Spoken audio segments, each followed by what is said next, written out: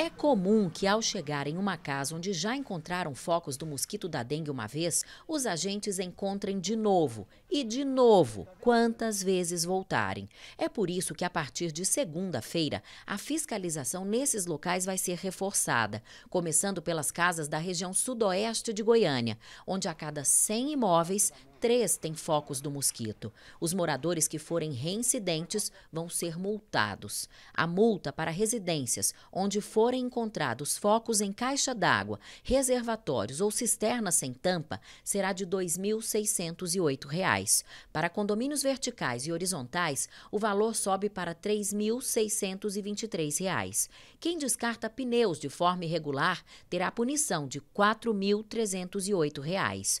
Comércios e órgãos públicos serão multados em R$ 6.522. O mesmo vale se recusarem a entrada dos agentes. Para piscinas sem tratamento, a punição é de R$ 7.246. Para obras de construção civil, o valor é de R$ 26.088.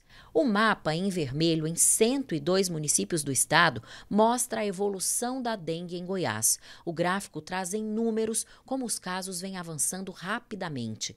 Nunca havia sido registrada uma alta tão grande, de 272%. Em Caldas Novas, os casos aumentaram mais de 700%.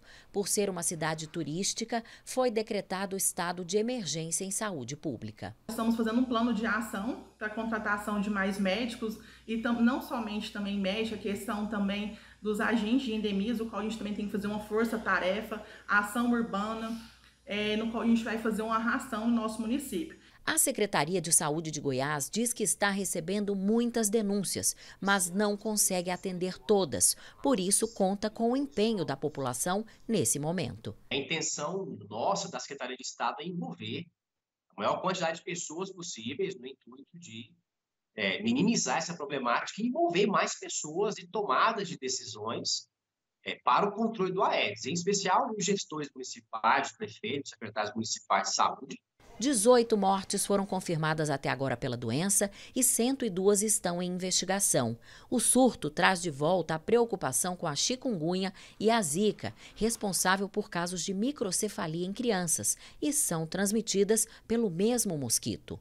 Nós já temos hoje cerca de 70 crianças com microcefalia ocasionada por zika vírus.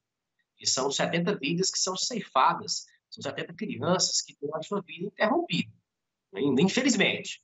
E esse alerta, ele persiste, evidentemente.